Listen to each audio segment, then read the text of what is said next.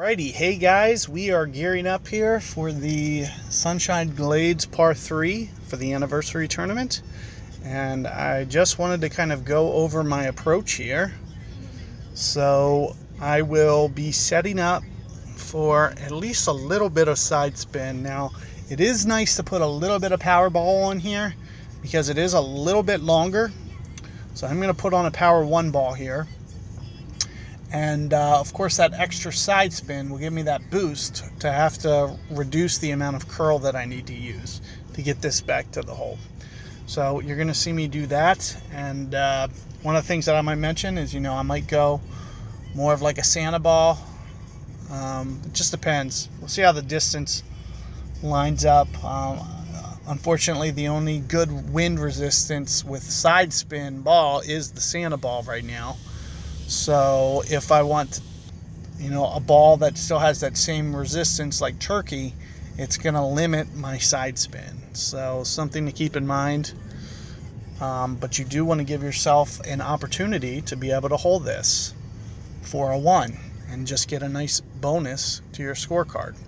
So let's talk a little bit about this hole. Of course, I got to start going backwards. I got to remember to start forfeiting these, or else I'm going to put myself in a little bit of a bind because I want to make sure that I don't qualify. Uh, I'm still thinking about doing expert division, which is probably what I'm going to do with this uh, account. We'll just see.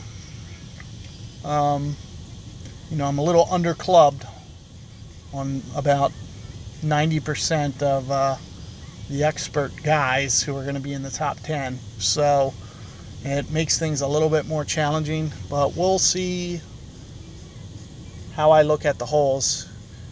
Um, in the expert division, one of the things, uh, you know, hole two is going to be kind of a guaranteed albatross. If I can't pull off a guaranteed albatross, it makes no sense for me to go to uh,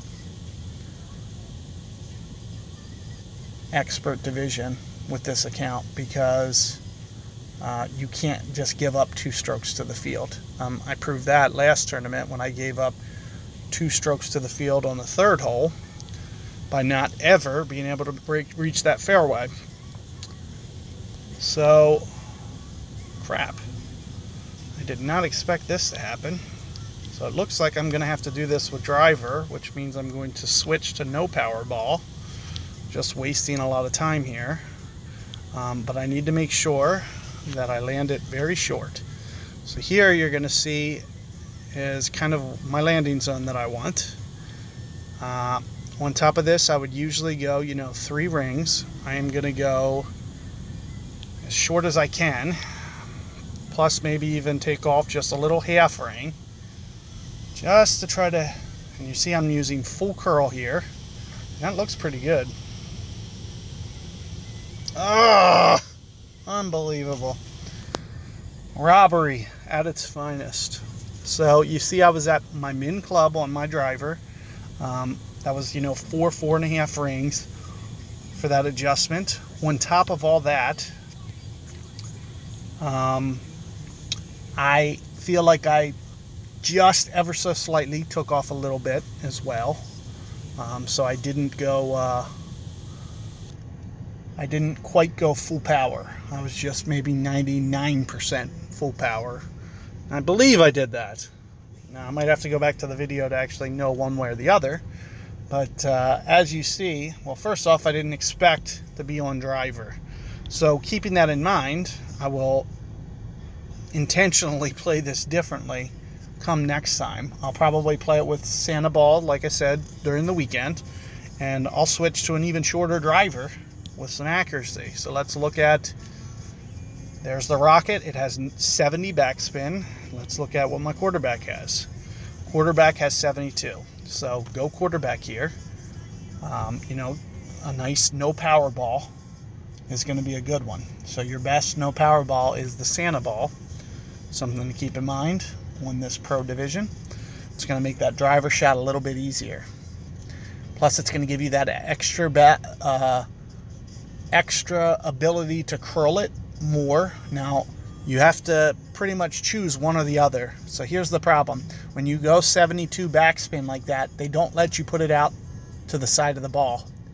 So you can only you have to choose between full backspin or full side spin and you're gonna have to choose full backspin so you just try to cheat it out as far as possible and it's usually about four four and a half bars to where you still have that 72 backspin on and you can get only about four and a half side spin it's kind of a little glitch in this game i actually um, you know if you're thinking about it feel free to write Playdemic about this and see if that's something that they can think about uh, changing in the future. I always forget to, but uh, you know, I, I feel like if you have a ball that can has the ability for these spins, and yet you can't put both those spins on, it's kind of a little unfair, or it's kind of like a little bit of a wasteful ball.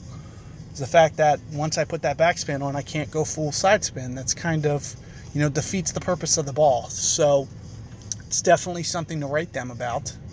Um, so feel free, you know, the more tickets you guys put in about this thing, the more prone they are to uh, change things like that. So keep that one in mind, and uh, good luck with getting that ace on that hole. I'll see you guys on the next tee.